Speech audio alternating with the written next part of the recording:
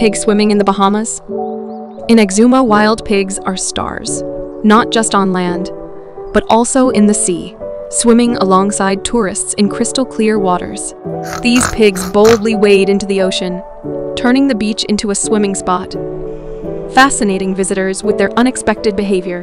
No one knows exactly how they got there. Were they left by sailors? Or did they escape from a ship? Their origin remains a mystery.